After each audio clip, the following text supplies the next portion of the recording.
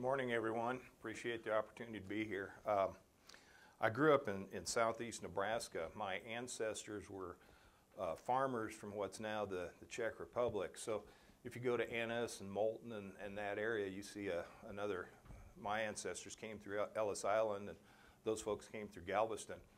And, you know, if you see the names, uh, a lot of times there's uh, a lot of consonants and uh, K's and Z's and, and uh, V's and that sort of thing, and uh, not many vowels.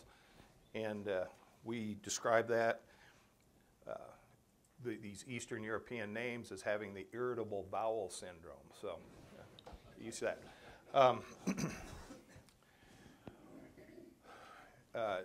you're, you're going to be here for four days, so you know I, maybe they may save the best for last. So. Uh, what I what I plan to do here today, I, I, work for Servi-Tech. I got my 35 got my 35 years in uh, at Servi-Tech, so I've been hanging around the plains here for a while. Um, what I want to do here is maybe lay some groundwork, lay some foundations, lay some basics for the rest of the the, the next four sessions or three or four sessions that you're going to have. So, um, topics uh, I want to talk about infiltration, water quality, and carbon. And they're all three of these topics, they're sort of separate, but yet they're all interrelated. So I hope if I don't make the connection for you, you can see where, uh, where the things are connected together. Well, to start with, there's a lot of things that influence yield, what we do. And uh, I found these numbers, and whether they're right or wrong, I don't know, but our climate, uh, the amount of sunshine, the amount of rain that we have, has the biggest influence on our crop final yields. Our soil has an influence, an important influence. Some of you are blessed with soil, good soil. Uh, some of you are, you might say, less than blessed with what you have to work with. Uh, the crop, our genetics have an impact. And uh, you know, as we look at production practices and that sort of thing, genetics have been largely responsible for, at least in, in recent years, for increases in, in yields. And finally, we talk about management, and that's the impact that we have. So we have to look at these factors that we maybe can't change, can't adjust, and try to work around them. And, and so that's what management is all about making the best and optimizing those, those, those first three characteristics. We live in the high plains. It's a plain, uh, climate of great contrast. Uh, like I said, I grew up in southeast Nebraska, and if you paid attention to current events uh, or you know, watched the news, uh, huge amount a lot of problems in that Missouri River. I talked to my mother uh, Saturday morning, and she said there was a day in Nebraska where the east half of the state, they were closing roads because of flooding, and the west half of the state, they were closing roads because of blizzard and whiteout conditions. So we can see a lot of, a lot of things here. We have standing water, wind erosion, all these things can happen all at once. And so that's where our management comes in. They're the cards we're dealt with, and we try to work around them. Now, over the next, uh, uh, next sessions, you may run into some of these terminologies, and these are, are textbook descriptions and soil terminology you have, but I kind of break them down here. When we talk about aggregates or crumbs, we talk about chunks, little chunks of soil. When we talk about pore spaces, we're talking about holes in the soil. We talk about infiltration and permeability. We're talking about things that happen in soils, the activities. And when we talk about porosity, texture, stability, and bulk density, we're just describing certain characteristics of the soil. So, so these terminologies have their place, and we'll try to, I won't necessarily touch on all of them, but these are terms you might run across as we discuss. So the first thing I want to talk about is soil texture. And I want to lay the groundwork here. When we analyze texture in the soil, this is what we do. We put a soil in and, uh, in a cylinder and stir it up. We use a hydrometer to measure the size of the soil particles. Then, based on the percent sand, clay, and silt, we use this soil textural triangle to classify those soils as loams or sands or whatever we do. I like this uh, triangle a little bit better because we've got sand here, we've got clay here, so as we move up this triangle, we're, we're getting into more and more clay soils. When we talk about sand, silt, and clay, what we're talking about is a range of particle sizes. A soil starts out as a mountain. That mountain weathers down to boulders weathers down to stones, to gravel, to sand, finer and finer and finer, and gets down to particles, clay particles, that are microscopic. So we use, uh, these are uh, microns or millimeters to describe that, those particle sizes. So we're talking about sand being within a certain range of particle sizes, silt within a range of particle sizes, and clay within a range of particle sizes. And we use the micron to describe that. Now the micron is 1 25,000th of an inch. And that's a little hard to wrap your head around. So what I've tried to do is, is uh, put it in perspective for you. These are pictures of microscopic clay particles, and I don't know, they've been magnified 15 or 18,000 times. So these are particles that are only one to two microns across or in size. But here's, here's a way of thinking about it. I always carry, and those of you who've been to these presentations before know exactly what's coming next. But I always bring a basketball, and I've got a set of playing cards here, and it's in case the projector breaks down, we can play toss, or you can play cards till we get the, the uh, technology fixed. But what I want you to do is imagine that it's a foggy day. You're walking outside, and you see those really small fog particles floating around, those little fine misty droplets. Well, those average about five microns in diameter. So imagine that you're now shrunk down to the point where this is a fog droplet, that this is about five microns in diameter. At this scale, a clay particle is about this big. And a playing card actually works pretty good as a imaginary clay particle because you see these are all kind of flat and platy. So now here's a little exercise. If this is a clay particle, and this is one to two microns, the next size particle is silt. How big might that be? Guesses? Okay. See some shoulders shrugging here. Well, this medium-sized silt particle, imagine it be a, a stack of king-size mattresses about this tall. That's the size of a silt particle. So if this is a clay particle, medium-sized uh, silt particle, how big would a medium-sized sand particle be? Guesses? A medium-sized sand particle, where you can just start to feel the grit or whatever, would be about a city block in diameter. So when we start talking about soil and clays and this kind of thing, this is what we're talking about in terms of the difference in those particle sizes. And those differences become very important as we discuss soil water and these characteristics. so first off, these particle sizes have a big influence, have a big impact on surface area. As we get finer and finer and finer particles, we get more and more and more surface area. So when we have a sand, and, and this is one gram of sand, which is, uh, each one of these is a gram, which would be about, oh, about a quarter of a teaspoon, something like that. If you took those sand particles and analyzed all the surface area, you'd have about one and a half inches. We drop down to clay particles, the finest clay particles, that one gram of sand, that little pinch, uh, excuse me, of clay, has a, almost a fifth of an acre of surface area on it. Now, why would that be? Well, let's go back to our, our deck, card deck here.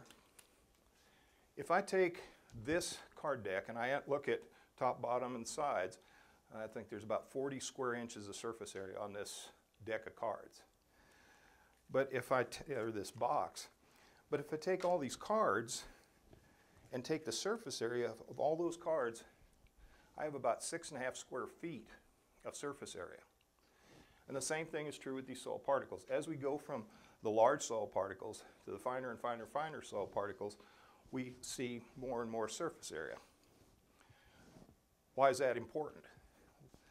This, you'll see this diagram probably several times, but as we go from coarse textured soils to fine textured soils and we look at the water holding capacity, it increases. And that's because we have more surface area. Water kind of Part of the water holding capacity has to do with the fact that water wraps around these clay particles, kind of like, uh, you know, there's, there's films of water. So if we, the more and more surface area we have, the more and more water holding capacity we will have. But if we look at the maximum water soil can hold before it drains, not all of that water is available to the plants. Because as there's less and less water, we get closer and closer and closer. Uh, that water's held tighter and tighter and tighter, kind of like an onion. It's easy to peel those outer layers, but if a plant root tries to peel off those layers as they get closer and closer and closer to the, or less and less water, it becomes more and more difficult. So even though in our clay soils we have a lot more water holding capacity, about half of that is actually readily obtainable by the, by the plants. We drop below this line is when we start seeing drought stress. We start permanent wilting point, the plant dies.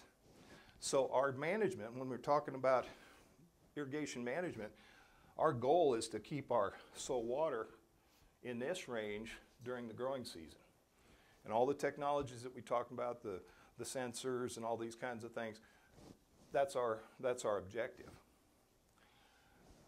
So I talk about, one of the uh, terms I used was aggregate, chunks of soil. If we look at a soil, those sand grains and, and you know, if you, you pick up a crumb of soil, a granule, that granule is made up of these city block sized boulders and then you know mashed in there a bunch of king size mattresses and mashed in there in between are clay particles and they're kind of glued together with soil organic matter and we'll talk about that later but it kind of looks like this so we have these chunks but in between the chunks between the aggregates we have pore spaces and those pore spaces will hold air or they'll hold water. And the pore spaces are different sizes. And this is uh, scientific, talk about micropores and mesopores, macropores. And they're measured, also measured in microns. But what I did was at this, this basketball scale, let's take a look at piping. We're going from pipe that's about an inch in diameter to pipe that we measure in hundreds of feet. So in a soil, there are different size pores, different size holes, and the water that we that's available to the plants is somewhere between one inch to five feet. Those holes that would be in this soil we have, that's where we, we hold water. That's where the roots extract water. They get larger than that. Those pores are important in drainage. The water flows through there. It's like big caves and big caverns. So if we get into sandy soils, you know, sugar sands, we have a lot of big pores. So the water moves through very rapidly, but there's very little water held for available for plant roots. On the extremely fine soils, high clay soils, well, we're, we're hearing these really, really fine pores. So we can store a lot, but it's also harder for the plants to pull that water through the, uh, from those small pores. So I just uh, I do this to just kind of work through your imagination and, and just think about the, the differences that we're talking about in a microscopic scale. Because at that microscopic scale, that also has an impact on our overall management. Now let's take a look at the root system. When we look at roots, the roots that we see typically, the, root, the parts of the roots we see typically are not the part of the root that is actually taking up water or taking up nutrients. Roots absorb water and nutrients through the microscopic root hairs. This is like a really, really fine fuzz that's on the very, very end of the root that we see. And at any given moment in time, only about 1% of that root system, you know, if you, you think about a, a root system as it grows, a plant as it grows and develops, about 1% of that is actually in contact of that soil is in contact with these root hairs. So managing soil, managing our root system be very, very important. Now, using this basketball size scale, this is a wheat root here, so this would be the root portion of the root we'd see, and here's our root hairs. So at this scale, a single root hair would be, imagine a pool floaty, one of those foam things about this big around and about 100 feet long. That's a root hair. And the root hairs have a lot of surface area because if you imagine my hand as, as a root system, these are the root hairs. The water and nutrients are not absorbed by the main part of the root, they're absorbed the surface area here on these fine root hairs. And there's a lot of surface area there. So managing, again, managing our soil to maximize water uptake requires developing a good root system and uh, maintaining our, our pore spaces. So next step in this is to talk about infiltration. And infiltration just means water moving into the soil. And that's, uh, you know, we talk about soil texture, the size of the holes or whatever.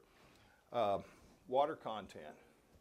We're, it takes a while. If we fill the soil, fill those pores up with water, it's harder for the water to push, push down through the soil profile. Does the surface uh, seal off? Do we have cracks in the soil? Our tillage is going to have a, an impact because our tillage, we affect the pore sizes and pore spaces. And then how we apply water, how rapidly, uh, how much we apply. All these things have an impact on infiltration. So if we look just at soil texture here, as we go from clay loam to coarse sand, our surface, our infiltration rate, increases by a factor of about uh, three to five times roughly, depending on the, on the characteristic. We go from a tenth of an inch to hour to as much as an inch per hour. And think back on our soil particle sizes. In those sandy soils, we just have a lot bigger holes in that soil, a lot bigger pore spaces. If we look at infiltration over time, it's not constant. If we take a dry soil and we start applying water, we see initially the infiltration is fairly high, but as time goes on, it drops off and gets to kind of a, uh, they call equilibrium level, a constant level of intake. Again, fine sand, loam, silt loam, big holes, a lot finer holes. It just takes more to fill up those one and two inch pipes. There's more friction loss as we're pushing, pushing that water from top to bottom. The flip side of this is the depth of infiltration. If we look at same, same information over time and the depth, we can push water deeper over the same amount of time in a sandy soil just because we got larger pores, we got those caves. Our fine soils, we have the small pipes. It's just harder and harder. There's more of them to push down through the profile. This is a diagram somebody put together comparing a sandy soil versus a clay soil and just looking at over different times. So our sandy soils with those large pores, we're going to, we're going to in, uh, in a short period of time, the infiltration will be fairly deep, but it, we don't get much lateral movement. Our clay soils, it's going to take a lot longer to get into that, through that profile to the same depth, but also because of those fine pores, we tend to get more lateral movement of the water. So when we're thinking about irrigation management, this is an important characteristic because as we go to things like drip irrigation, whatever, where we're putting on water on certain points, that's going to have an impact on that final infiltration. Now the application rate and infiltration may be a little bit different. This is kind of imagine if you had a, a, a center, a pivot is moving across or a sprinkler is moving across a given point in the field. Water starts sprinkling, it's right over top, and then it moves past. So that's how the water is being applied at that, that point in the, in the field. But the infiltration rate is a bit different. Initially, we can take as much as that sprinkler will give us, but at some point in time, that infiltration rate is going to stop and slow down and start dropping off. It's going to get wetter, harder to push down. We might get some sealing. There's a number of different, different reasons we have that. At that point in time, that's where we start to see our surface ponding and we have the chance for potential runoff and a, a loss in irrigation efficiency. So our management is to try to match up this application rate to the infiltration rate. And you're going to have several speakers here over the next four sessions that are going to be addressing exactly that, that particular issue. Now, when we think about how water moves through the soil, we kind of think we kind of think about water moving from top to bottom very smoothly, very evenly. This is a uh, this is the most boring movie in the world. Uh, every if you take uh, every beginning agronomy class, you get this.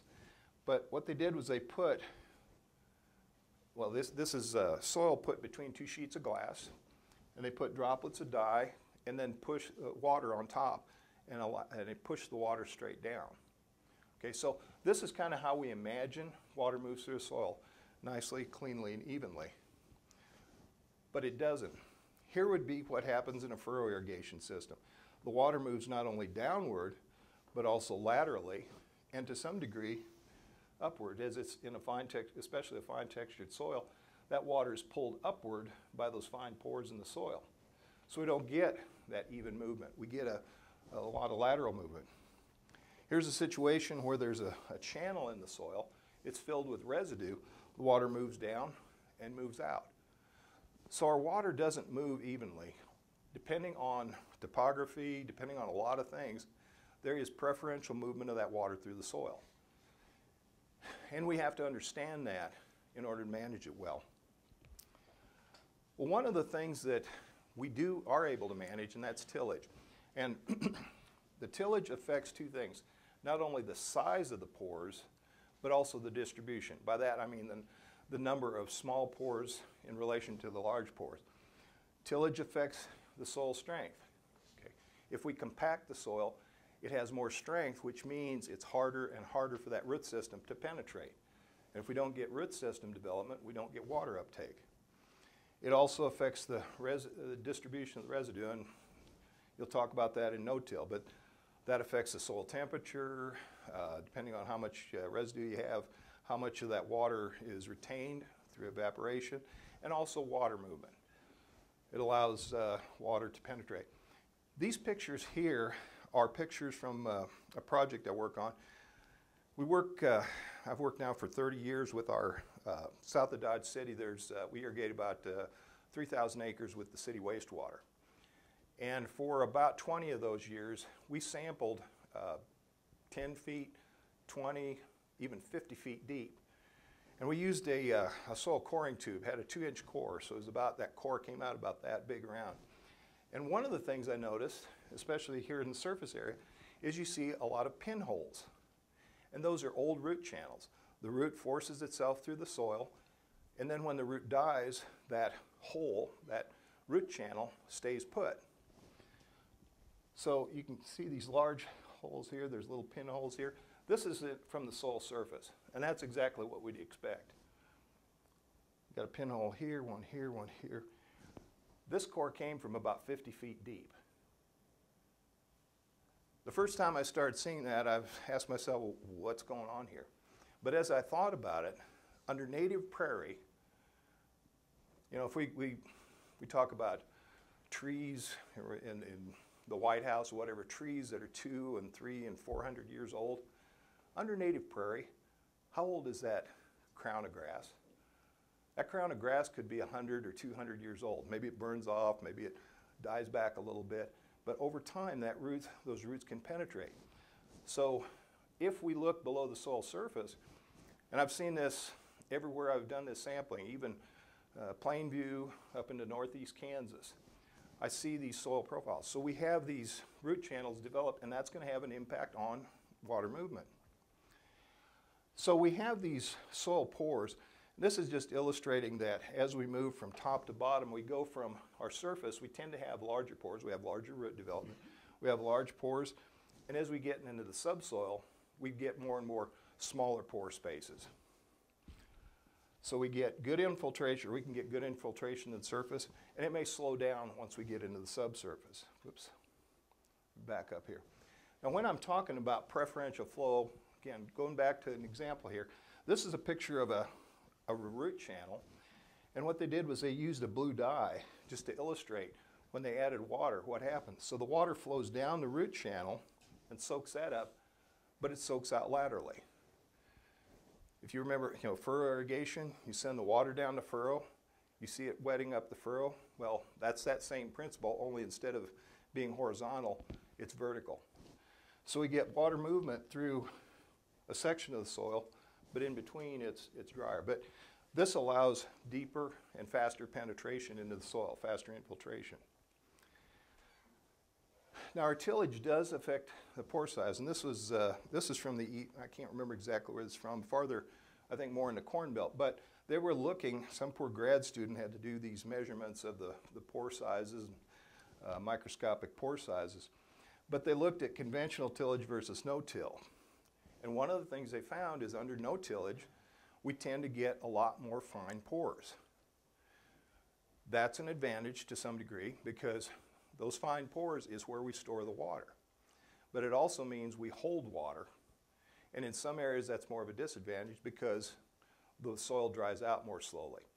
So it's, it's kind of a mixed blessing. But the important point here is that we can manage the holes in the soil by the tillage we, use. Now, this was an, uh, an experiment, uh, something we did at that project I was talking about. What uh, Kansas Geologic Survey came out. What they did was they, they built an impoundment, filled, it was just two by four, or uh, two by 12s, I should say, filled it with water, and kept filling it with water, and that water had a blue vegetable dye in it. And it figured roughly about 22 inches of water over a day, over 24 hours. So it was rapid. It just really soaked the soil. Then we came back with a backhoe and dug out those areas and took a look.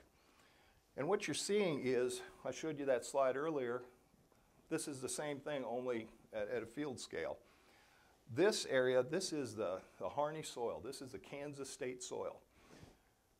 Very productive soil, but we see about the top foot and a half is a silt loam, and we see a lot of root channels here. Now this particular field had been in corn and alfalfa, probably been irrigated for 25 years or so. So we had a lot of root channel development. From a foot and a half to about three feet deep, the clay content jumps up. It's more of a silty clay loam. And so we see fewer and fewer root channels. Then the clay content drops, and we see a lot more root development. So my point here is what you see on the soil surface and what's going on below the surface may be quite different. So we soak up, and that may be why it's productive. We soak up the soil and we kind of hold that water there available to that upper root system during the growing season. So that may be the advantage here. But this is described as, as finger flow because it kind of looks like this. Now there's uh, found another location where we had what we call funnel flow. And uh, the background on this was it had been, they put the pivot up, I think maybe three or four years before this. And the, the farmer that bought the ground told me the previous, um, previous operator had a, a double crop system.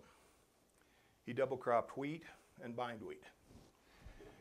And what we think this is, is this is the bindweed root channel. So it penetrated. But I think this is really important because if we look at the water that starts at the surface in, what that is, three feet or so across, all that water, by the time we get down to five feet, is now focused in an area about that big around. And so it's going to move much more rapidly into the sub uh, profile, which helps on recharge, but it also means that water moves through our profile much and reaches groundwater much more rapidly than if the water soaked nicely and evenly. But my whole point here is there's a lot of stuff going on. And we have to kind of think about this, not that we can necessarily do anything about it, but what we think is going on may or may not be going on uh, below the surface. Now, our management, we can affect root growth. And what this is, this was uh, a root profile where they, uh, they did different things. These are roots that were grown in boxes. And here was unrestricted root growth. See, here is residue. So we see we change the rooting pattern. Again, that residue changed the temperature, maybe changed the water holding capacity, or uh, uh, managed evaporation. Here, we it was tilled in between the rows. We have a different root development yet. And here, the inner row area was compacted. And so our management, three different types of management, we affected the way that root system grew and developed. This is, there's a lot of stuff on here, but what, uh, what this experiment was looking at was looking at root development, uh, different tillage systems, where we put the fertilizer. But I want to point out two items here, just some food for thought. This was under no-till. In the row, we had the greatest amount of root development. And this is feet of root per cubic foot of soil. So think 1,800 feet, that's what, uh, quarter mile, something like that, or somewhere wrapped up. That's like piano wire or something in a box. But between the row, where we had a wheel track, we dropped from 1,800 feet of root to 75 feet of root. So we've decreased the amount of root development. We've decreased the amount of, uh, or decreased the ability to take up water, decreased the ability to take up nutrients. So our management has a lot to do with, with uh, root development. And so part of our overall management thought is what are we doing to that root system? What are we doing to that soil that might affect that root system? Because that's, uh, the, the root system is the mouth. Plants don't drink their food, eat their food, they drink their food. So we've got to optimize the root development. We've got to optimize the uh, optimize the uh, ability of that root system to grow. Now there's a, uh, a term you might see, and I get asked this question every so often. Um, you see on your soil test called CEC, and called stands for cation exchange capacity. And in the lab, there's a really expensive way to do it. But typically, what we do is we take with our soil test results, there's a calculation, and we calculate what's called a cation exchange capacity. And in your notes, here's what you can do if you want to calculate it by hand. But we take potassium, calcium, magnesium, sodium, and then if we have an acidic soil, buffer pH. We run the math, and we come up with a number. And that number is, gives us some idea. It's kind of related to soil texture because what we're doing in our, in our soil test is we're actually, on the surface of these clay particles, is covered with a series of negative charges. And I'm going to talk on water quality. But positively charged nutrients, potassium, calcium, magnesium, are attracted to the surface of this clay. In our lab analysis, we sort of scrape those off and analyze uh, what comes off that surface of that clay. So the more clay particles we have, the more of that stuff we kind of scrape off. So the higher the clay content, the higher the, the uh, soil test analysis, the greater the, or it changes the texture. So we can use this CEC as a rough indicator of soil texture. It doesn't always relate exactly to the true soil texture, but it gives you kind of a rough idea. If I see a CEC of five or less, I know that's a really sandy soil. If I see somewhere around 15 to 20, that tells me it's a loamy soil. If I see somewhere 25 or 30, that's a clay soil. So it's just kind of a quick way, just looking at a soil test. You know, if I'm sitting at a desk 200 miles away from a field, it gives me an idea of, of soil texture. And I'll, we'll come back to that when we start talking about soil, about uh, water quality. Okay? Any questions at this point, comments? Yes? Fred, you might mention that uh, CEC differs a lot because of clay type. Yes. hmm Yeah, the CEC. Yeah, we have. Yeah, there's different different uh, clay types. Some will. Uh, there's some interlayer. There that get that gets. Yeah, it's a it's a very really the shrink swell. They're shrinking and swelling clays. Yeah, that that's a subject all to itself. But Oh, yeah. good point. The CEC in the high plains and the CEC in the east uh, east coast may be a, a bit different, just because of that uh, because of that uh, difference in uh, clay type. So.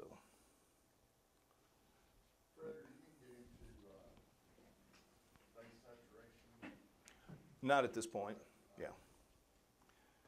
Yeah, I guess, I guess the, the quickest way of, people talk about base saturation, and the term base saturation, you'll see that somewhat. Essentially, we take the CEC, these are what are called basic cations. The buffer pH, you won't see that unless you have, you get farther east here, maybe into some acidic soils. This is, uh, measures hydrogen ac- acidic cations. Base saturation is just this total number divided by, you know, what percentage of that total CEC is occupied by these, by these four cations here. And it's, it's, it's, it's just a, it's a calculated value, so. Let's see, can I get to? Any more question, any more? Anything else? Okay, if not, I'm gonna move on a bit. Um, want to talk about irrigation water quality. Irrigation water quality, um, we have this thing, you know, we, we look at quantity. How much water do we have? But you can have a lot of water and it may be poor quality and it may actually be a detriment to you. So you're probably more aware of it here than some other areas because we've started to see water quality problems. We get, you know, drilling, uh, we're depleting some of the aquifer, we're getting into uh, what is it, the Dockum and, and Santa Rosa aquifer. There's different qualities. And so water quality in the South Plains area is, is starting to change. And we need to be aware of some of these things because it does have an impact on our irrigation management. Now, water quality, just because you have two wells side by side, does not mean you'll have the same water quality. And I'm going to talk about some of those things. Um, you can see great changes in short distances for a number of different reasons. So we have to look at each individual si- situation by itself. Now, I was mentioning earlier about cations and anions. And, and a cation and anion, when I talk about those, those are molecules or atoms that have a charge, either a positive charge or a negative charge. And when we look at water quality, we look at these four cations, they have a positive charge. We pay attention to these. And there are four anions, negatively charged molecules or atoms. These four. So these eight, when we look at these eight, that covers a lot of, lot of territory for our water quality. We'll go into that. Now, you will see different terminology showing up if you have a water test from whoever. You'll see milligrams per liter, essentially the same thing as parts per million, micrograms per liter as parts per billion. If you see percent, 1% is equal to 10,000 parts per million. So you see these terminologies and you have to kind of be aware of the fact, uh, pay attention to the terms because the numbers may look different, but because they're in different, uh, expressed differently, they may actually be, be the same.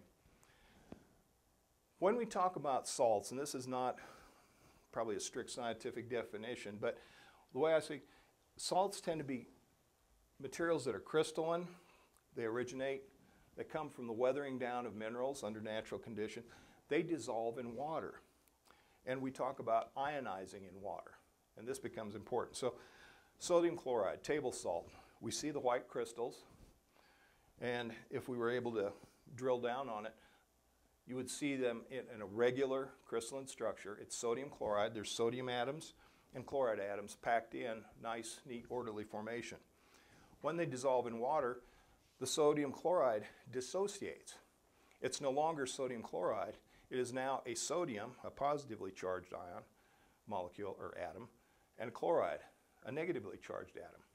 And so a water solution is made up of these dissolved materials.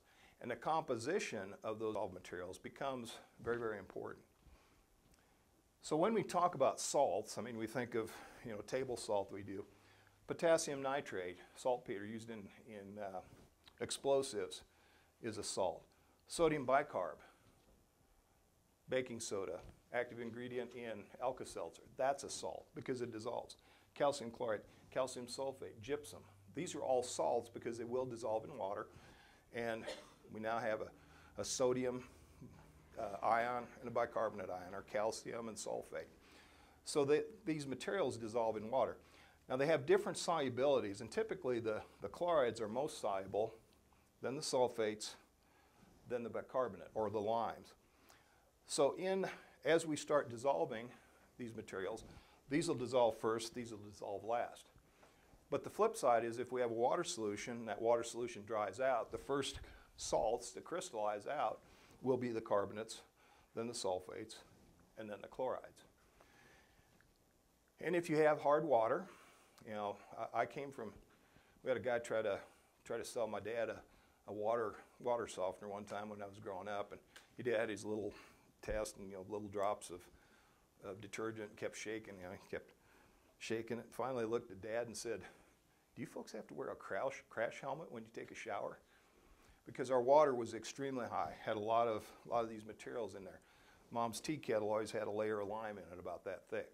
But it's because as she boiled the water, we evaporated off the fresh water and we left the lime behind. The same thing can happen uh, under irrigation. So it's important to know what that salt content of that water is because irrigation water becomes the soil water. We worry about two things. Well, salts can be potentially harmful. We worry about the total salt load and the type of salt. It can affect the growth, the total ion. Certain ions have an effect, they're toxic. The salts may also have an effect on soil structure, and that's where we worry about sodium. And we'll touch base on all of these, these things. The flip side is these salts are beneficial, can be beneficial, because in your irrigation water, these salts are also nutrients. And here are some of the nutrients we can find in irrigation water. Now, they may be at very low concentration, may be very high, but they are nutrients and they do have a beneficial side to them. So first thing we want to worry about is the effect of total salinity. And we measure that by what we call electrical conductivity. We don't actually directly measure the salt level in the soil or in the water, uh, water sample. We have a, a uh, conductivity probe, and it has two electrodes. And so we measure the, the, uh, the flow, the conductance, the, the uh, apply a current, and we measure the flow between those two electrodes. And here's the example I use. You know, the more stuff that's in the water, the higher that, that conductance is. And here's the example I use. If, let's say that uh, you're sitting in a bathtub and your significant other walks in the, in the bathroom and says, I just took out a million dollar life insurance policy on you, plugs in a, uh, a hair dryer, and throws it in the water. Well, if you're sitting in a tub of distilled water, you're good because there are no ions, nothing to carry that electrical current. However, if that same person walks in, I got my million dollar policy, plugs the hair dryer in, throws a handful of salt in there, and then throws the hair dryer in, you're going to be toast. It's because now there are some ions in that water to carry that current. So we don't directly measure the salt, but the more and more dissolved stuff there is in that water sample, the more and more current that that water can carry. So we measure that using, we talk about micromhos or millimhos per centimeter. And a mho is a unit of conductance. It's the inverse of a, an ohm. What's, what's an ohm? Unit of resistance. So it's just the, inverse. We're trying to see how well that water solution conducts electricity. So you could, with the voltometer, kind of kind of do something like this. But, but at any rate, that's how we measure salts in the water. The reason it becomes important is because if the soil water has too many salts, we have what is called an osmotic effect. In other words, the, it, we can actually place the plant under water stress even though we have adequate water. Uh, you read the story about people that are lost in the ocean. You know, they're sitting on a life raft. They're surrounded by billions of gallons of, of water, but if they drink it, they would die of thirst. It's because the salt content of that water is higher than the salt content of your body. So you drink that salty water, the fresh water moves out of your body tissues into that, into that salt water, and you die of thirst. Same thing can happen with plants. If the salt content of the water is too high, the water moves from the root tissue or whatever actually out into the to, to help try to dissolve that, that water. Nature is trying to establish a, a balance there. And so you can actually have uh, the term that I've heard people talk about dry moisture. The soil feels wet, but yet the plants are showing drought stress. It's because it is harder and harder for that plant to extract the water from that soil. Now, there's differences in varieties here. Some varieties, for whatever reason, can tolerate higher salt levels than others. And so that's part of our management uh, in dealing with this problem. So here's what happens when we, as we increase the salinity of our soil. Uh, this, uh, this is a slide I borrowed. Uh, this is actually kale. It's a leafy green vegetable that I would never eat, but uh, this is very typical of what we see. We see, initially, we see the yield is not affected till we reach kind of a threshold level, and then the yield drops off. Sometimes that threshold level is very different. Yield drops off quickly, drops off slowly. But anyway, plants react, react this way to it. So it's important to know what our status of our soil is. Here's some examples of some research with, uh, I found with wheat and sorghum, just to illustrate some differences here. Now this is the sorghum. We, our soil salinity came to this threshold point and the yield dropped off. Here with the wheat, the threshold level was fairly similar, but wheat lost yield, or I should say sorghum lost yield much more rapidly than the wheat did. So in this situation, our management could be to pick the proper crop. So these different species react differently to salinity. Here was the same experiment, only instead of looking at grain yield, it looked at forage yield, and there was not a lot of difference between the sorghum and the wheat. So it will affect the growth of the plant and the forage yield differently, or it may affect it differently than the grain yield. And these are two different sorghum varieties. So we had some difference just in species difference and, and tolerance. Now, why that is, don't know. Root system development, metabolism, whatever. But there are a lot of different, a lot of different things, and we can kind of manage around soil salinity problems by crop choice and, and variety choice. This is illustrating uh, emergence over a period of days, four different soil salinity uh, situations. Now here is low, moderate, and high soil salinity. And if we look over a period of time, eventually we get to the, the same level of emergence. But when we have salinity, we slow that emergence down. So we have uneven growth, uh, slow growth, uh, it's more susceptible. So we want, we, ideally, we'd like to keep the salinity low. Here is soil moisture from field capacity to permanent wilting point. And again, same thing with low, moderate, and high salinity. Not a problem here, but as that soil dries out, the impact of that salinity gets higher and higher and higher. This is the same effect we have when we have fertilizer injury. Those fertilizer materials are salts. They dissolve and they dissolve in water. If they don't dissolve in water, they can't be taken up by the plant. So if we have too much stuff, too many salts in close proximity to the seed, and the soil dries out, we start affecting those tissues. And, that, and the salt injury tends to be more of a problem or fertilizer injury in our drier soils than it is in our wetter soils. So all these things have, a, have an impact on our, our management. We can run into individual chloride and boron primarily. Under sprinkler irrigation, chloride, the droplets, if we have high chlorides, yeah, I see a nodding. We have high chlorides. What can happen is that droplet, as that droplet dries on the leaf surface, that chloride will actually enter into the leaf tissue. And if it accumulates to too high a level, it starts causing damage and death to the leaf tissue. The same thing can happen with chloride in the soil, but um, generally you have more problems with total salinity and other things than we do in the soil. Now, boron, and, and we're lucky here, we don't have the high boron levels. Uh, I know in California this is a big issue because the boron enters in the soil, it's taken up by the root system, and it can cause a toxicity. And this is a different, this is an individual, uh, an individual ion, individual chemical causing this, causing these problems. So we can have a couple of uh, different situations uh, affecting total salinity and also type of salts have an impact on crop growth. The effect of sodium is on the soil structure. If we think about calcium and magnesium and, and sodium, they have opposite effects or different effects in the soil, uh, uh, soil profile. We measure the difference, and, and it's important to know uh, it's excuse me, it's important to know the relationship between the two. In water, you'll see a number called the SAR, sodium absorption ratio, and that's the ratio of calcium, magnesium to sodium.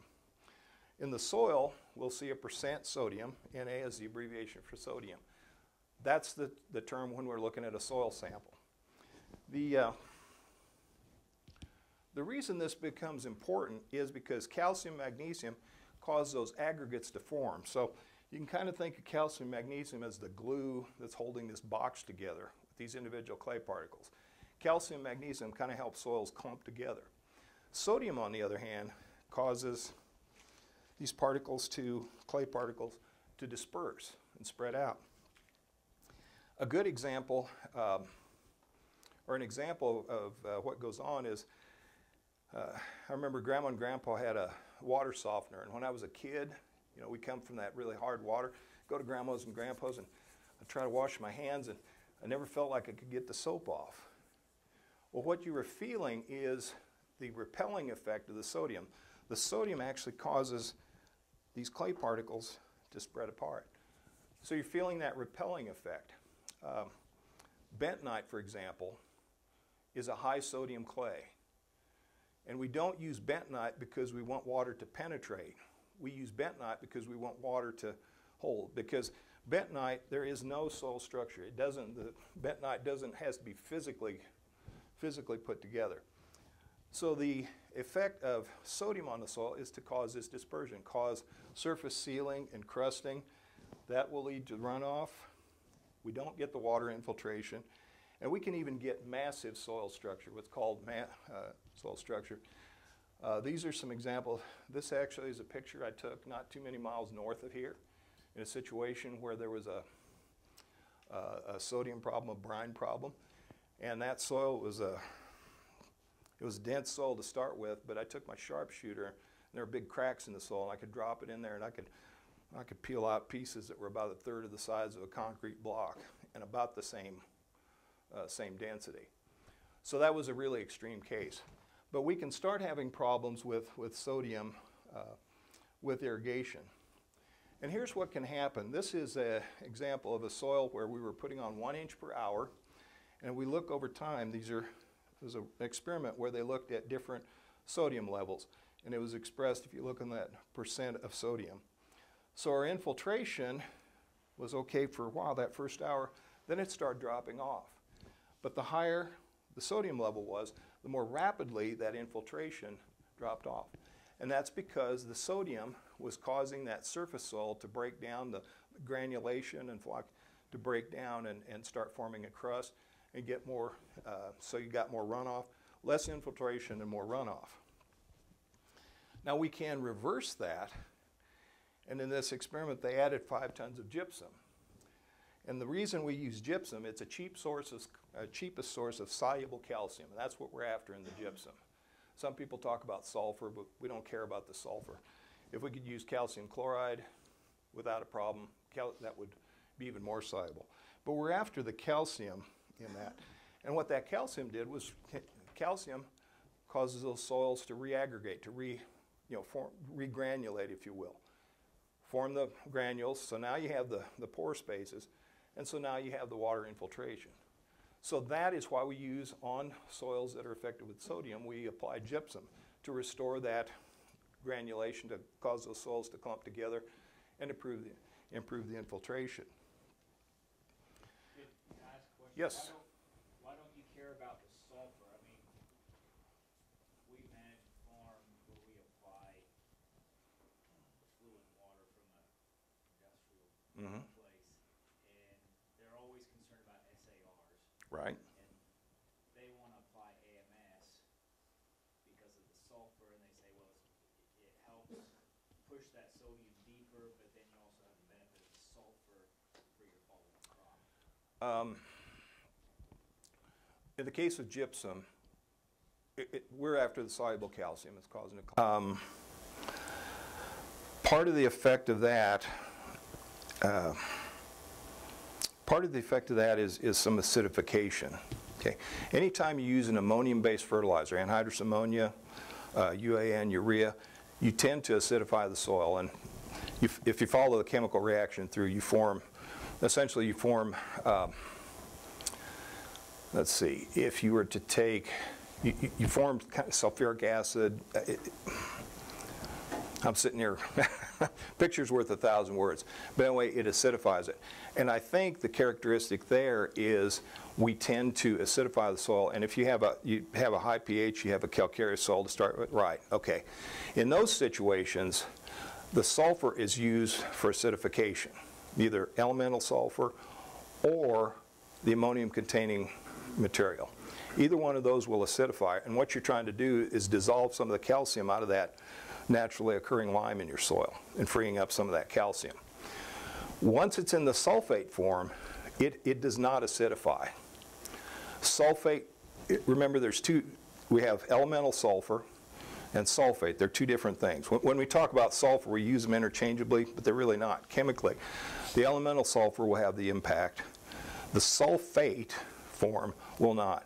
If you use uh, uh, potassium magnesium sulfate, that has no effect. So that's why I say I'm not, I'm not worried about, I should have said here, I'm not worried about the sulfate.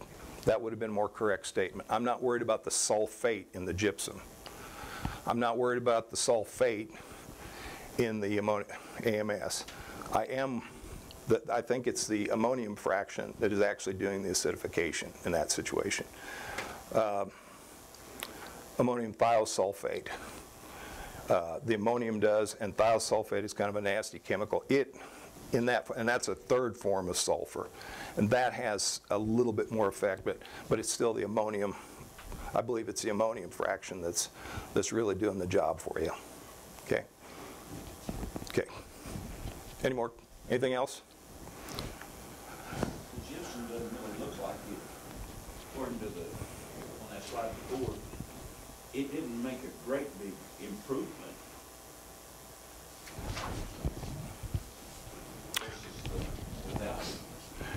Well, that's exactly right. What we were doing, they applied, we, we went from, and, and let me clarify, this, this soil, we went from here, from that 10 to 15 percent, and I, that, good point. I'm glad you showed that up. We took it from here to here with that gypsum, okay? I'm sorry I didn't point that out. We, yes, we were able to restore it back to somewhere close to its original uh, infiltration rate. Good point. I, you know, when you put this stuff together, you just sort of, you, you work with enough, you don't, you know, uh, what's, what's obvious, I just sort of assume, but uh, I'm glad you pointed that out, so, okay. Well, let's talk about the quality factors and what we do. We have to take a look at irrigation water. There's all these different things. We have to look at the combined effect. So we want to look at the total sodium load or total salt load, the, on the effect on the crop, the sodium effect on the soil. We want to worry about these foliar injury situations.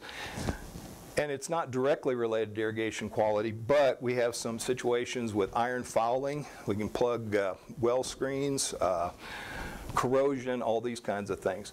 So although these things aren't agronomic, they affect equipment operation and they can have an impact. So here's how we classify.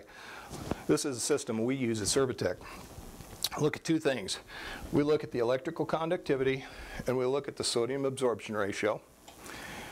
And the water analysis, what we're trying to do from that water sample, get some idea of what we expect or how we expect that water sample, irrigation water, to affect the soil that's receiving it. So we look at the adjusted SAR, and that is intended to predict the sodium percentage in the soil. If we irrigate it for a period of time and it has a chance to stabilize. If we see the conductivity of the water, we expect to see that about one and a half, concentrate about one and a half to two times in the, in the soil. So we look at the total salinity, and we look at the permeability, and we combine those, and we, we have these good, acceptable, fair, poor, very poor categories. So that gives us kind of a general agronomic idea of the quality of that irrigation water. Now, in a specific situation, that may or may not hold true because, because of the type of irrigation or, you know, uh, soil type or crop grown or whatever, it may be slightly different. But it gives us some idea. We know that when we're in this zone here, we got some management problems, or here, or here. We've got to manage more carefully than we do if we're down here in this area. So uh, This was, uh, haven't updated it, but as of 2016, what we did was we took a look at these areas, water samples we got from these areas here in the Texas Panhandle. And this is survey data of the different irrigation parameters that we have. So these are the typical ranges we found. There's some that uh, above and some that's below. And these were samples that were submitted for irrigation quality. Now, they may have been a wastewater or who knows, uh, you know, from a bar ditch. I mean, they just told us it was for irrigation. So we use that. So I plotted those this way, and I took a look at our, this is kind of a snapshot of the overall irrigation quality in this, this area of Texas. So we have a lot of good quality water. And so if we're down here, we don't, we shouldn't have to worry about the kinds of things. We, we got a lot of other things to worry about. But if we're in this area here, this means we're going to have to look at some specialized management, crop choice, uh, uh, trying to maintain uh, infiltration, all these kind of things. So we have to ratchet up our irrigation management in this situation compared to this situation. But unless you've had your water tested and know what your water's doing, you don't know exactly where you're at. So it's important to know that, and it, it gives you an idea of, of what you're up against in some of these situations. Took a look at the chlorides here and broke it out low, medium, high, and extremely high. So for the most part, we had about half of our chloride samples weren't too much of a problem. We had about a fourth of them that were maybe marginal, possible concern, and we had some that were extremely high. Now, these may be wastewaters or whatever, but anyway, this is something we have to be aware of. So with sprinkler irrigation, we have to look at chloride level and get some idea uh, uh, of the possible problems we could run into. One of the things that's important to remember is that irrigation water quality is not constant. This is one of the things we see, we, we see change. Now this was a, a publication I found, uh, it's a little bit older, but it looked at water level changes over a 30-year period here in the, in the Panhandle, Plainview to a little farther south of here. So we saw areas where levels dropped. We saw some areas where levels increased. So our water levels changed over time and the quality changed over time. This is a map of nitrate, sodium, and salts back in the 70s, or I should say the 60s, and tw about 25 years later. So we had some areas the nitrate levels came up. The good news is in a lot of areas they didn't. Sodium levels came up in some areas. Now our total salt levels dropped in some areas. Now I'm not sure why that was, but, but anyway, the point is here over 25 year period, and this is, uh, this is uh, 20 years ago, 25 year period, we saw a shift and a change in irrigation water quality. And we see the same thing occur here. Now, why would we see these kinds of changes? Well, one of the things that's important to remember is when we look at water quality data, we have two types of wells. We have monitoring wells and production wells. And when you see a monitoring well, and I'm not sure if the district uh, has any specific monitoring wells, okay, but typically a monitoring well is drilled to a certain depth and there's just a short piece of screen in there. We're trying to get a sample out of maybe 10 or 15 feet of that aquifer. So we're trying to take a sample here just out of this layer here. We're trying to take a little slice out of the aquifer. If we have a production well, we're after yield. So sometimes we've got production wells, especially the old ones, they're screened from top to bottom. Some wells are screened in different sections. So we may be pulling water out of more than one aquifer. Out of, and I say aquifer, maybe one, maybe not an aquifer. There's, I'm not a hydrologist, so bear with my definition. But out of different depths, and we don't necessarily know how that well was constructed or what depth it's pulling from. So we can have two wells that are side by side. Depth might be, in this case, different. They might be the same, but because of the construction and slight differences, even though those wells were close together, we might have a great difference in quality. Another, another thing that can happen here is our drawdown, our depletion. When we fire up a well, initially, we start drawing down. Eventually, when that well stabilizes, we talk about the cone of depression. We pull that well down to a certain area. And so the outside of that cone, that uh, the perimeter there, we talk about the area of influence. And depending on formation and well size, I mean, a whole bunch of things, that area of influence may be very small or it may be very large. If we're pulling out of, of multiple aquifers, we can see that water quality change through the irrigation cycle. And I've seen this, uh, I've been involved in some water tests where that, that happens. What happens if we're pulling out of two different formations? Initially, we're pulling the water out of this top formation, and once it stabilizes, we start pulling water out of the second formation, and eventually when both stabilize, we're pulling uh, uh, an amount out of both. And we can see that water quality, depending on the formation and where it's pulling out, we can see that water quality change through the irrigation cycle. Now, that may or may not be very common, but it happens. And so, from the beginning to the end of an irrigation circle, you might have some difference. Uh, maybe from spring to fall, depending on recharge, we can have some difference. So just because, you know, well is not just a hole in the ground. There's a lot of things that impact how that well pulls water and where it's getting its water from. This is a uh, example, a consultant sent me this data, and I'm trying to remember where it was from. It was, I want to say the Tulia area, but I'm not sure of that. Wherever it was, it was an irrigation well that was drilled fairly close to a municipal uh, town well. The town well had good water quality. They drilled this well, and it drilled into the Santa Rosa. In the first year, he irrigated with 100% Santa Rosa water, and that can be a very nasty, very nasty water.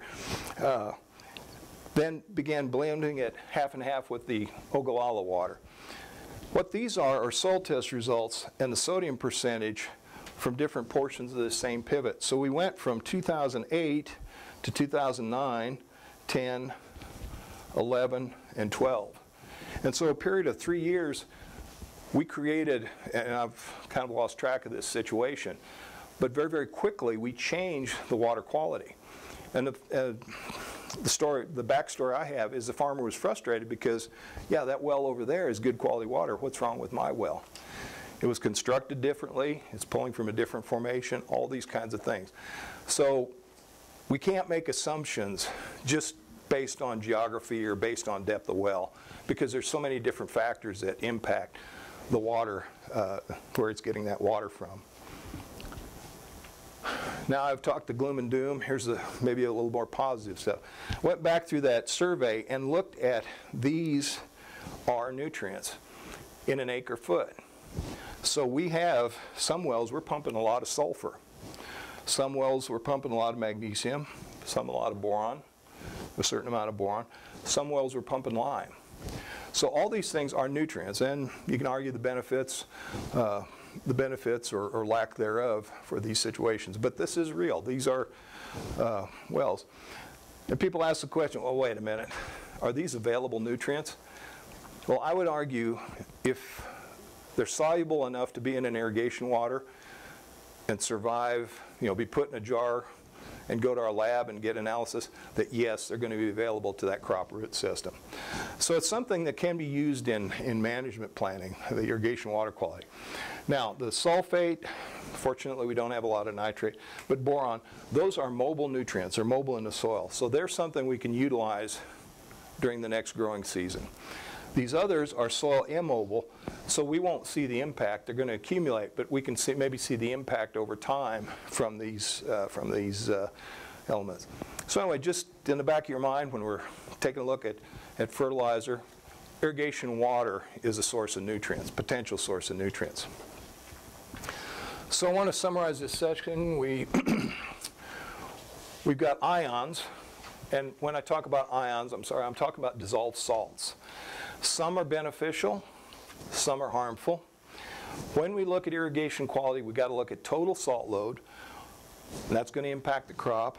We want to look at the type of crop, or excuse me, type of salt, which may have nutritional value. It may affect the soil. It may affect the foliage impact. When we look at irrigation quality, it's going to depend on the source. Aquifer and the formation, how is the well constructed, uh, how old, how young, or or how recent has the well been drilled, these kinds of things. And lab analysis. Some wells, it might be necessary, depending on the construction, to test them each year. Um, Some wells, it might be have, good to have an idea, take a test early in the season and late in the season, see if there's difference. And some wells, even during the cycle, beginning and middle of the cycle and end of the cycle, to see if there are some changes, because this could have some effect on the way you- manage your water. So at that point, at this point, I'm going to shut it down. It's time for a break, and uh, we'll uh, take a minute. Any questions, Fred, on this first part? Could you ever, you said the, your, your fertilizer you can apply will affect your, your salinity quite a bit. It can. Can a person, Listen.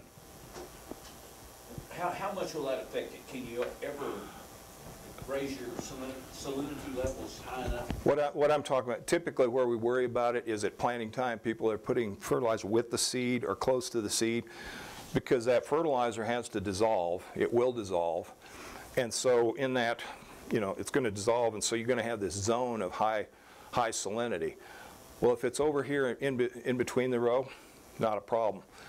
If the seed is right here in that high salinity, that's where we start to have problems, or if it's too close to, too close to seed. And, and there's some kind of rules of thumb we use for, for starter fertilizer, how far, how much, and how far away from the seed to place it. But that, that's what we're talking about. Early in the season, young plants, but I think you're talking about a long-term impact.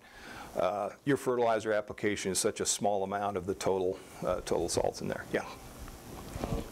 Yeah, your water quality when it's poor, uh, the work that I've done out in California, we can start to associate an accumulation, and it starts from the bottom and comes up. With uh, a so- uh, accumulation of, Salts, okay. mhm. sodium chloride, sodium sulfate, sodium bicarbonate salts.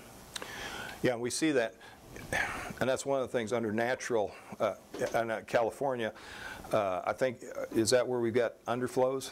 No, it's just as those soils continue to accumulate. Oh, I see, okay. Well, I sh- I showed you that, that soil, uh, the the picture earlier with the rooting, root profile, the the Harney soil. Uh, There's a a soil that looks, it's called the Ulysses in that same, same field. And that Ulysses soil is more consistent through this whole profile. And I, I I don't have hard numbers, but it's just looking at a lot of soil tests over 30 years. That Harney soil seems to, I mean, it's still a good soil, highly productive, but we seem to have a few more problems. It, it seems to accumulate the sodium and salts just a touch faster than the Ulysses soil, and I think that's the case. It, it sort of perches it because that's holding that water. It doesn't make it through that second profile and do that. But I think that's the case. You get, uh, that would make sense too, as you extract the water down there at that lower root zone, you really, uh, you're accumulating. I, I've seen that at our uh, city water project. Nitrate is a salt, and very often we see, we look foot by foot by foot at our nitrates down to 10 feet, and we'll see an accumulation of nitrate at about three feet. It's right at the bottom of that corn rooting profile, and if you look at, you know, we just don't, we- can extract water out of that third and fourth foot, but typically it's out of the top two feet. And so we do see that, so that makes, that makes perfect sense to me. So, anything else? Okay, time for restroom and coffee. Um, Looping back again, now we're talking about roots, and roots and residue and that sort of thing, we're talking about carbon. So there's a lot of, hmm? There we go. Okay, so when we talk about soil carbon, you read about it and see about it. We talk about organic materials. It's not organic farming. Organic materials is simply carbon containing materials. And these are all organic materials. You know, we recognize this as organic. We are organic. One out of every 10 pounds in our body is made of carbon.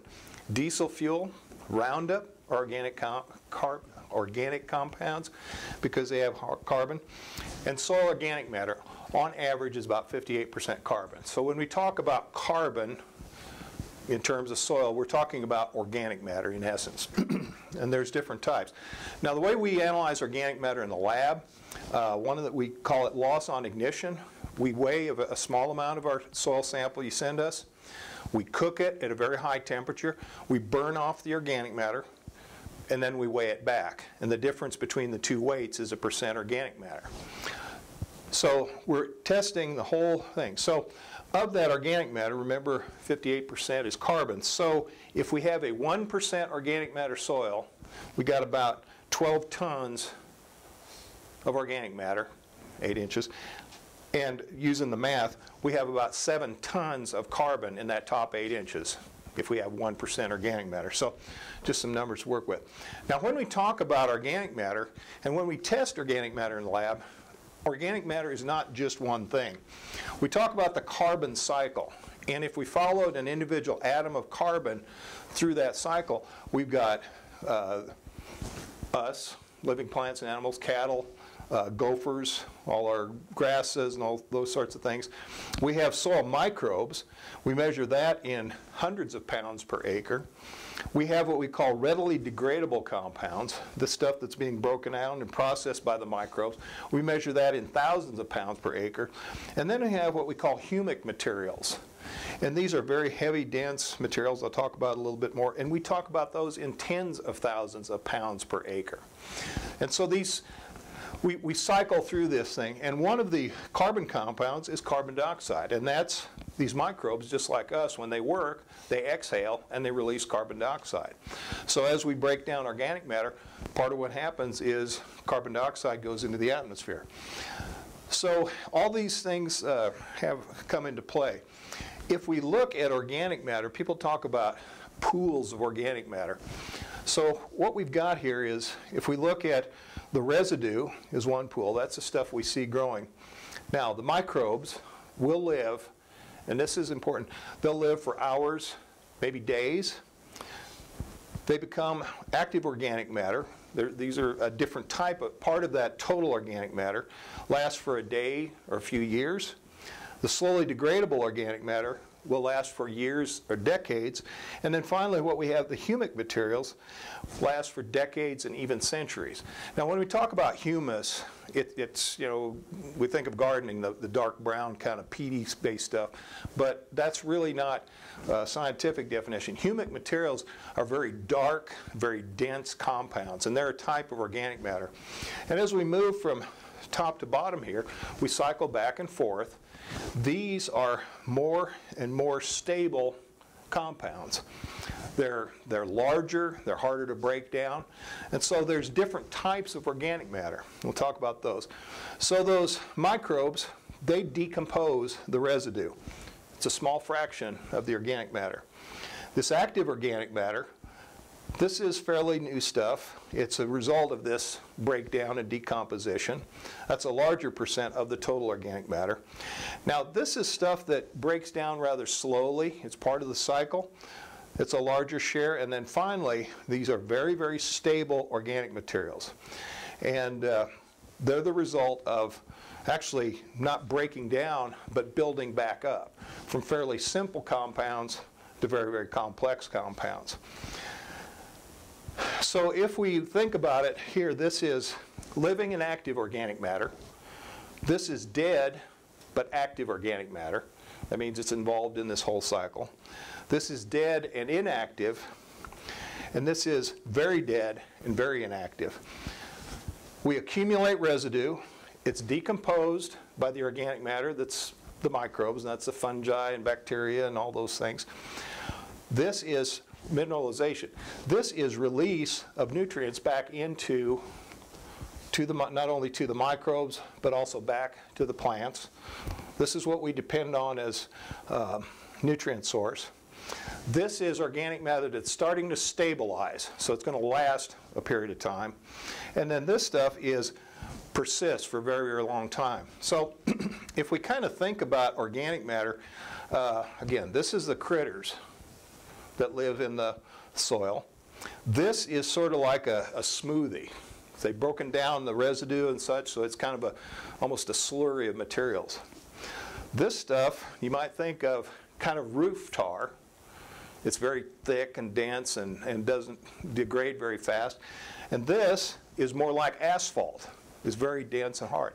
Now, when we think about the soil, this, these materials are what give our soil its dark color. This is what accumulates in the, when we see a road cut and you see that topsoil.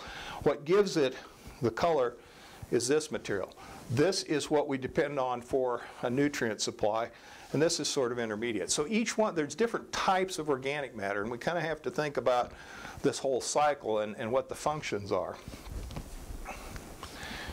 This is a, uh, this came from the 1957 Yearbook of Agriculture.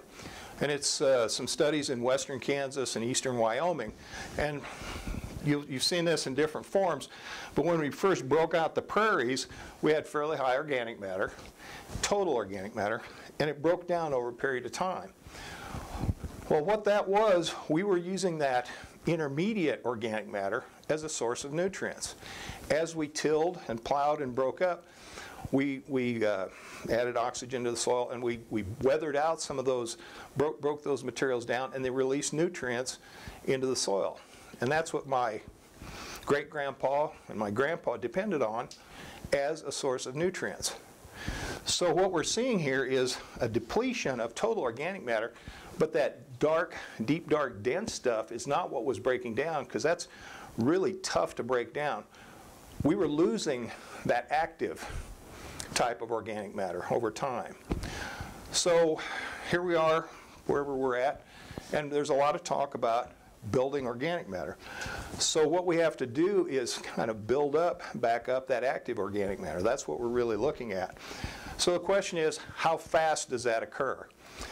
Um, you read about things, people talk about you know, I up my organic matter 1% or 2% or 5% or whatever. Well, kind of what's realistic? Well, that all depends on where you live. So as we go, you know, we, these are two different maps, temperature map of the U.S. Obviously, as we go farther north, the average annual temperature drops off. And as we go from east to west, the, the moisture amounts decrease.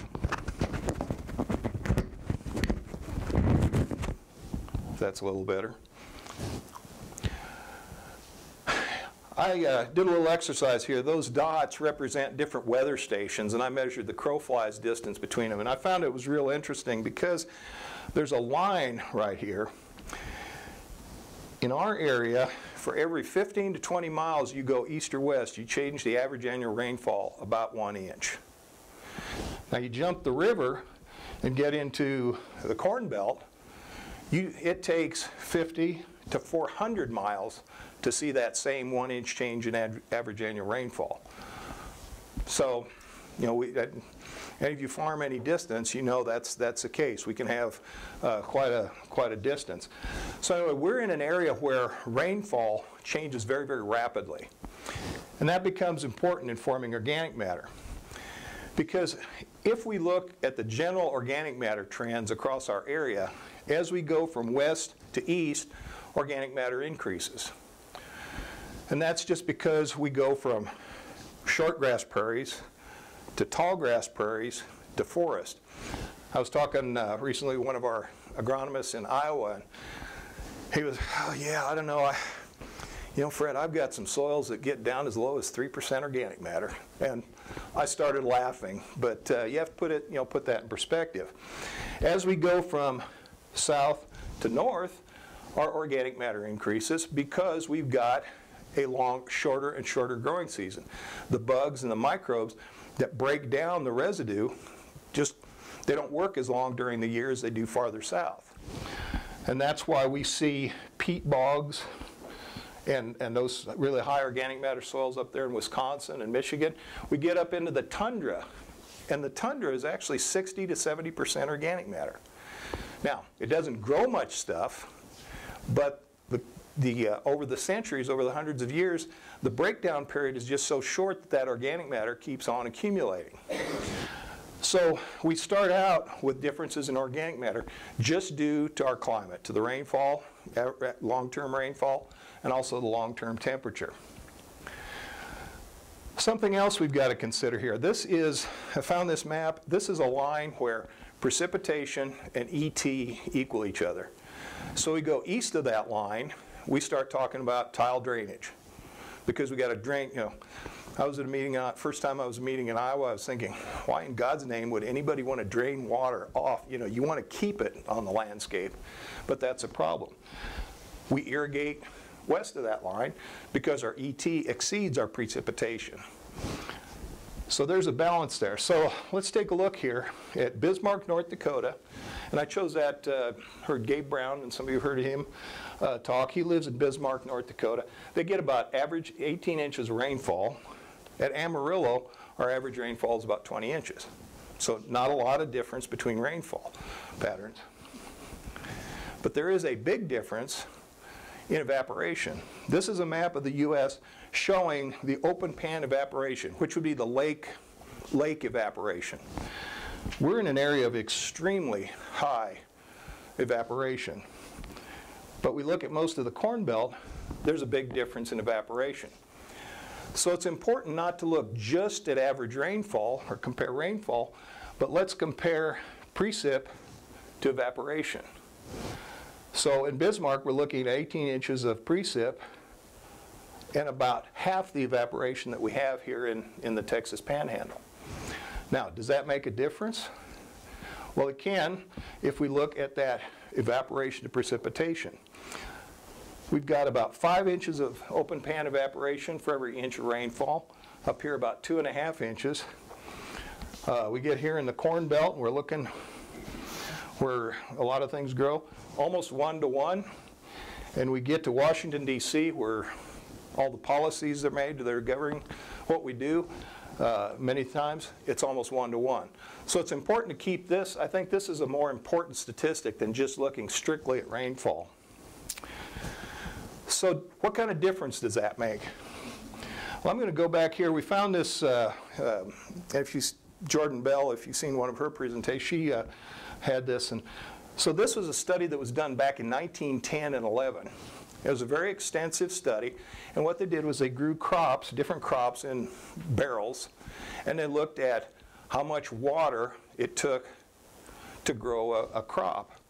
And they weighed it periodically, and, and it was very very well done, very extensive experiment. But what they did was, uh, in the report, they had four different locations here at Dalhart, Colorado, South Dakota, and North Dakota. And they found this, we found 500 to 1,000 pounds of water to produce one pound of alfalfa dry matter. So it took almost twice as much water to grow it here as it did here. Well, I started to play around with this a little bit and ran the math, and I converted those pounds of water to gallons of water. So at Dalhart, it takes about 120 gallons of water to grow one pound of alfalfa dry matter. And we can see periodically as we go, go north, it changes. Here is the average annual rainfall. Not too much different between the four stations. But I just did the math here at 15 or 16 inches and 120 gallons.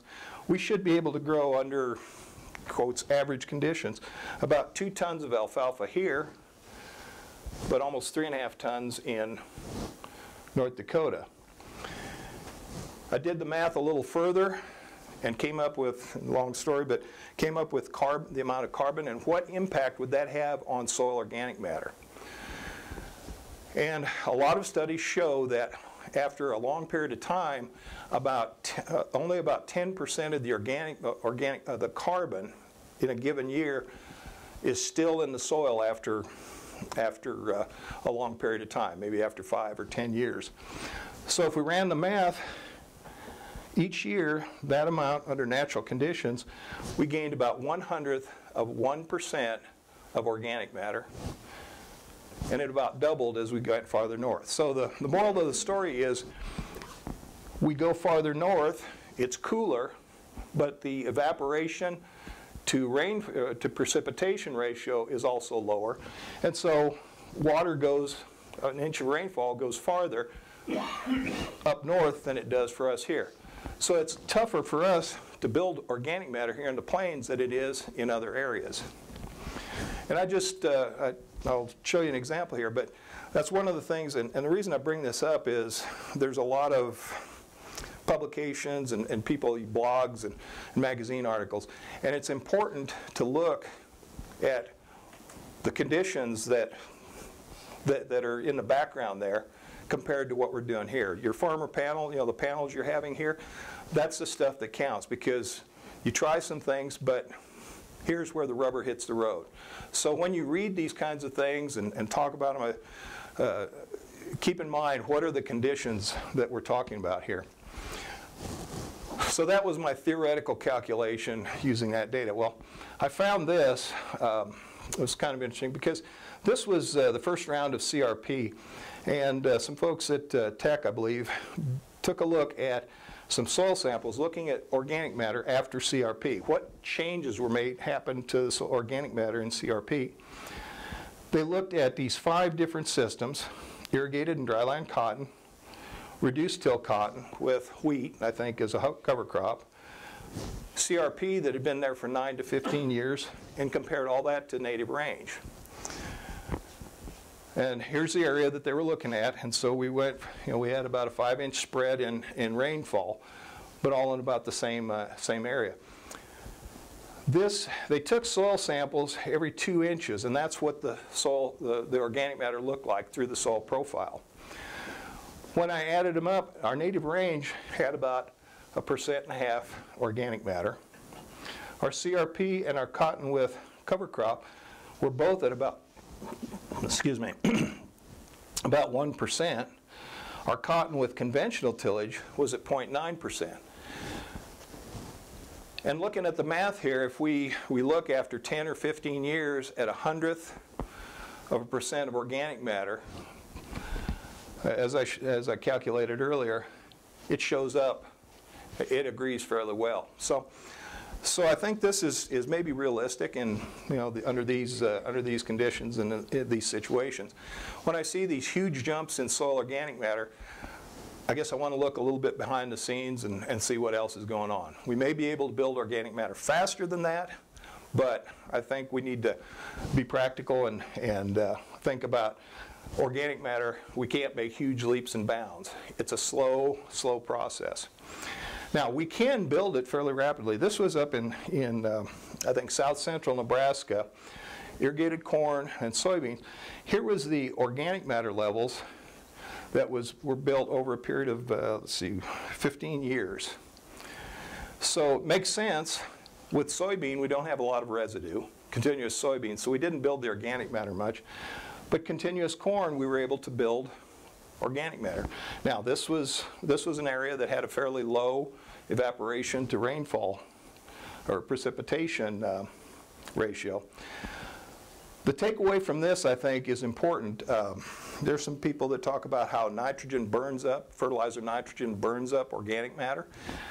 Well, we went up to 180 pounds. The higher the nitrogen rate was with our corn, at the end, we had more organic matter. And it's just because we grew more corn, we grew more residue, we grew more roots, we grew more stuff, and so it contributed to overall organic matter. So we can build organic matter, but it takes time. We can't do it in one or two years. We have to look five and 10 years, 15, maybe 20 years down the road. I wanted to point something out here too. I know you're going to talk about cover crops, and I ran into this article about uh, some of the pitfalls. And one of the things, and this isn't overly common, but it's something that can occur with our cover crops, depending what we use and how we use them, but we can tie up nitrogen. And I want to speak about that a little bit because one of the terms you'll see in some of the publications and, and the articles is the carbon to nitrogen ratio. And I got that in, in soils one, you know, my first soils class. And it took me a while, I had to scratch my head. It took me about 20 years to kind of figure out what that really meant. Well, the process, when we're talking about nitrogen being tied up, it's a microbial process. As those microbes decompose that residue, what they're doing is they're taking those organic materials and converting it to inorganic nutrients that are available for either the microbes or the plants to use. Now, we can, those microbes can tie that up as they're taking in those nutrients. If those nutrients are tied up, part of their body tissue, they are not available to the plant until that microbe dies and decays and releases those nutrients. That tie-up is affected by the quality of the organic matter. And that is where our carbon to nitrogen ratio comes in. Now, the book, textbook is when we have a carbon to nitrogen ratio of 30 to 30 or 40 to 1. If it's higher than that, we have more of a problem. So what exactly does that mean? So here's a table, um, and I think it came from NRCS. But these materials are soil organic matter. We have a 10 to 1 carbon to nitrogen ratio. Here's alfalfa hay, vegetated cover rye crop, stalks, straw, and sawdust. Okay, so we have a greater and greater carbon to nitrogen ratio. But what does that mean in our in practical terms? I did the math and converted it to percent nitrogen. Okay, so you're not necessarily used to looking at percent nitrogen. So I took it, uh, or we aren't, I took it one step further and converted that to protein. Because when we run protein in the lab on a feed stuff, we actually analyze total nitrogen and we multiply it times 6.25 and that's what get, gets reported on the feed test as uh, crude protein. So once we start looking, getting, taking this carbon to nitrogen ratio to protein, it makes a little more sense. We're talking about a high protein ration because we're talking about carbon to nitrogen. We're talking about carbs. In cat, you know, if you feed, when we feed cattle, we're feeding carbs. We're feeding sugars, starch. We're feeding fiber. Those are carbo made up of carbohydrates. And we also have to have adequate protein. Well, microbes are exactly the same. They want carbs for energy, and they need protein. So what happens is if we have a ration in the soil, if we feed a ration that has less than about 8% protein, this is the point where we start to, we can get some temporary nitrogen tie-up because this ration is protein deficient. And those microbes utilize nitrogen. They'll use the nitrate in the soil and they will compete with those young plants, especially seeding, seedling plants, for the nitrogen in that soil. So if you got the microbes competing with seedling corn, guess who's going to win? And so we can actually, if we time things wrong, we can actually induce a, a temporary nitrogen deficiency when we work some of these materials in. Because during that decomposition process, that nitrogen is tied up. Now, once the decomposition is complete, that nitrogen is released, it becomes available to the plants. But during that time period, uh, it gets to be tied up. So, and, and, this is not, this is just a natural decomposition process, process. But if our timing, and it has to do with termination timing, becomes really important because those microbes compete. Now this is a temporary condition. Depends on a lot of things, the carbon to nitrogen ratio, how much uh, we work down, all, all these kinds of things. It also depends on moisture and temperature and other field conditions. So it doesn't happen every single time, but there are some times where it does happen. I found this, uh, this study I found was kind of interesting and what, what this was looking at was this immobilization, this tie-up of nitrogen at different temperatures. And so what they did was they, this is a lab study, but looked at the amount of nitrate that was released after decomposition for this material at 50, 68, and 86 degrees. So if we're below the line, that means the nitrogen, the nitrate was tied up by the microbes during the decomposition process. Above the line, it's starting to release it, and so it's available to the plants. So at 50 degrees, we were tied up in this study for about 14 days. Here we were tied up at seven, almost 70 degrees for 30 days, and I'm sorry, 80 degrees only 14 days, about a month, and at 50 degrees almost two months. Now this was an extreme study. Uh, this material had, uh, it was paper mill sludge. It was about 6 to 7% protein. So let's compare that to some other things. Uh, C-to-N ratio 50 to 55 to 1. So it was pretty similar to corn stalks. And this is what we, we find. If, if we have a really heavy stalk load, it takes time for it to break down, especially if our soil nitrate uh, is low and it gets tied up. And even if we look at a rye cover crop at the vegetative stage, it's about 26 to 1. And the boot stage, it's more mature, got more fiber, more stemmier, it's higher. So the later, the more mature that cover crop is, the more chance we have for, the, for this kind of tie-up. So soil temperature and the quality here make a difference. Now, I'm not trying to imply this happens every time, but we've seen some situations where there's been a temporary, uh, temporary mobilization, a temporary uh, nitrogen tie-up. We had a, uh, this happened several years ago, one of our farmers, we have the a Cargill plant in Dodge City, and they always want to get rid of the paunch, you know, when they, they slaughter the undigested material. So this farmer looked at, ran a sample through the lab, and hey, there's a bunch of nitrogen in here. So he went out about, oh, week and a half before he planted corn, spread this paunch and worked it in, and we had a center pivot of yellow corn because that paunch, the, since it was in the rumen, all the, the, the goody stuff, the, the high protein stuff had been already digested by the animal. So what was left was a lot of fiber, a lot of low protein, high carbon to nitrogen ratio material. We worked it in, those microbes went to town, they tied up the nitrogen, and we had to do a lot of, of rescue work to get that crop uh, to come around. So something to be aware of. Um, just keep in mind some of the things. Now, I want to spend just a minute talking about a couple things in soil health testing because there's different methods and, and uh, different things that people look at.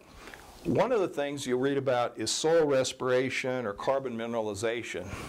Well, as we look at this nitrogen cycle, remember I talked about the microbes. When they work, just like us, they give off carbon dioxide. And we could measure the level of activity in this room by measuring carbon dioxide. You know, right now it's everybody's sitting, everybody's, you know, quiet. The carbon dioxide level is fairly low. But if we all got up and started doing jumping jacks and push-ups and what have you, we'd work harder. The carbon dioxide level would gr- would increase. Or if we moved more people into the room. So what we're trying to do is we're trying to get an idea of how many, you know, the overall microbial activity by measuring this carbon dioxide. So that gives us some idea of how active those microbes are in decomposition or also building up, uh, you know, building up organic matter because we want to have some idea of microbial activity. There's another test, and uh, taking a look at this, it's called reactive carbon or active organic matter, and we're actually measuring maybe a portion of that organic matter. Uh, I started you know, taking a look at it. It might be one or two or five percent of the organic matter, but that gives us some idea of how we're building up this active portion, which is contributing to our overall organic matter. So this gives us some idea of potentially how rapidly we're going to be able to store carbon or how rapidly we're going to be able to build organic matter. So these are just a couple of tests. There's some other, other tests out there people are we're taking a look at and experimenting with to give some idea if that's our objective to look at mineralization, how well is our, is our soil releasing nutrients, or how well is our soil storing organic matter. So these are just a, a couple of things you might see. So, so ideally, what we want to do is we want to have nutrients being released, but we also want to store organic matter. We may go one way or we may go the other, but these kind of tests give us some idea and see what our objective is when we're, we're looking at uh, looking at our overall uh, soil health and organic matter storage and, and mineralization. Now, if you want to do a cheap soil health test, here's one. Cloth, cotton, is an organic material and it has a high carbon to nitrogen ratio. Low, cotton's pretty low protein. But what they did here was try to get out some idea of microbial activity in that soil. So they took their, hopefully their clean pair of briefs, uh, and buried them for, for a period of time, then dug them up. So if the microbes were more active, they broke down the, uh, the organic matter, the cotton, and the more decay there was, more active those microbes were. So uh, we call this the Hanes test. There is another explanation for this. The first time I saw this, I thought, okay, here's four farmers. They have just each gone to see their loan officer to discuss their operating note for the next year. And this is the result. So this farmer's in pretty good shape and that one's not. So uh, you have to know what's, what's going on behind the scenes for this. So, so anyway. Well, I'll just wrap up what I've talked about here. The soil infiltration, we go back here, there's a number of different things that affect, affect it. Some we can manage, some we can't. We have to identify the ones we can manage and deal with them. The irrigation water quality affects the soil and the crop. Different parameters have different effects, we have to know what's going on. Our water quality may be changing, and it's important for you to know where you're at today, where you've been, and where you're going at irrigation quality. Our organic matter generally builds up very slowly, so we have to have some patience, have to have some time, take a look at it. We have to manage the cover crops carefully. You'll talk about that later, but termination time and, and uh, what you choose and what you use becomes important. And then our question is, what's our objective in that? Do we want to stabilize, we want to build organic matter, or do we want to have a, a, a reservoir of nutrients that we can release for crop growth? So with that, I've reached the end, and I appreciate your attention, and I hope that uh, what I've uh, presented here has been useful to you and uh, ties together. So with that, Questions for Fred? Yeah. Do you agree with Gabe Brown's assertion that for every percent of organic matter, you retain another twenty thousand gallons of water? I, I, I'm not sure exactly where that, and I, where that comes from. Um, I've tried to hunt down, I think I know where it's come from. Uh, there was a, a study that was done. More recently, there was uh, there were some researchers in Australia that looked around the entire world, looked at all the experiments, and they were saying that it really doesn't have a huge difference. That it takes a lot of, I mean, if you have big differences in organic matter, yes, but small differences. Uh, one of our agronomists had a chance to go to England, and he visited the Rothamsted experiment fields, and those have been in place since, I don't know, 1820 or 1830. And that was something that, that they pointed out. They said that they weren't seeing a lot of, a, big difference in, in soil moisture storage due to the organic matter.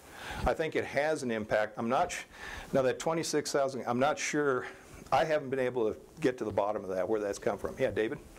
Uh, the Noble Foundation says the organic matter up to ninety percent of. Okay, and that's where the calculation. Um, So, like, excuse me, I'm still digging a little bit. I I haven't quite, I know where Noble Foundation, I'm not sure the source of, source of that, but it's, uh, uh, you know, the original source of some of that. So I, I got to find it out for myself. Uh, I want to know for sure. It has an impact. Um, I'm not, I don't know if 26,000 gallons is the right number or not. Twenty, he said twenty thousand 20,000, yeah, okay, all right, yeah. And that may be that 90%, so. Anything else? So what contributes most, or maybe both, the roots in the soil? What contributes to organic matter? The roots dying in the soil or the trash on top? Contrib, well, it would be, the- technically, it would be the roots, because um, they are actually a small, I mean, in, in a year's time, of that total amount, those roots are a pretty small fraction of the total organic matter. And it's, those microbes don't work on the soil surface. They're working on the roots and, and uh, that sort of thing. So I think growing, you know, corn, you know, Mike, you were showing corn roots and sorghum roots and, and cotton roots. There's a huge difference in, in uh, you know, in biomass, uh, the amount of uh, material there. So uh, they have the stuff that's on top that provides a shield, but it really, you know, when we, just to give you an idea, when we do, we, we process our soils, what we do is we, we dehydrate them at room temperature, and then we grind the soil, we pass it through a screen. So if there's a piece of stalk or whatever, we never measure that. So it's the, the stuff that's in the ground that's been worked on by the microbes that's contributing, contributing to the organic matter. Is there any correlation to, through the demin, demineral, or the mineralization process to organic matter and the amount of nitrogen that's available? There is, and that's something, um, a lot of people have looked at that for a lot, I mean, I've got a stack of stuff that thick where people have tried to look at it. Um, It depends on moisture, depends on temperature, depends on the type of material. Um, You know, we, people calculate things, some people say there's 10 pounds for every percent organic matter, and there's all these, these things, but, uh, and I've seen some lab experiments that are really good. You know, they match up temperature, and, and they, they really do a good job. You can calculate it all out. And then they go out to the field, and guess what? Mother Nature is not at a constant temperature, is not at a constant moisture. So all these, all these things, uh, all these things impact it. Higher organic matter, up to a point, you're going to have more nitrogen released. But I can't tell you if it's a pound or 100 pounds exactly. So- Somebody else? What's our average organic material in this area? What you see? In this area, uh, typically you run probably one to two to maybe two and a half. Um, I mean, you can get down as low as .2 and .3, some of the sandy soils, but I'd say, and correct me if I'm wrong, 1 to 2% is going to catch, yeah, Tim, is going to catch a huge amount of our organic matter. Well, the reason, part of the reason for that, when you think about shortgrass prairie, only yields about nine hundred pounds of dry matter. Mhm. Uh, Now, what's below ground, probably more, but it never returns very much unless you've got buffalo stomping it. You don't have those guys in there. Right. So, Okay. One last question. Got, I'll take, it. I got one. So Rick, realistically, and Mike, you can chime in on this too, realistically, what, how high can we get organic matter? How what, how high? How high can we get this, uh, you know, we're gonna peak out at two point two, two point three? That- I- I'm not sure I'd answer that question, but I'd say, yeah, I- I'd say if if we can achieve 3% long-term, and part of it too is, you know, we get back to the fact that, you know, there's another rule of thumb I ran into for every, what is it, every 10 or 15 miles farther north you go, you lose a day of growing season, I think. So we've just, we're in an area where we've got a long growing season, we get high soil temperatures, and those all contribute to the organic matter breakdown. So it's just gonna, I- I think you're right, that, that- that we're gonna hit that, hit that peak, and I, I don't know, I'd say that two and, a- Mike, Well, two and a half percent? The boys at Bushland said that probably peak out at about two point two. Okay. Okay. That's a good question, though. Yeah, I, I see people that, and I was just reading an article, a guy in eastern Nebraska, he, he took his organic matter, he said from like a percent and a half to six percent in five years, and I, uh, I, I I guess my first inclination is, did the lab make a mistake? If somebody asked me that, we're gonna go back and rerun it, and then how'd you take the sample and some other things, so. cotton either. No. Seems like a lot of manure. Yeah, I think, that's right, you stack it on. I think I figured out with that, I, I- I just played around with the numbers. In order to do that, he was gonna have to stack silage something like two feet thick for 10 years in order to be able to, to do something like that, so. Well, even bog soils in Ohio don't go above six. mhm. Yeah. Okay. Okay, let's give uh, Brad and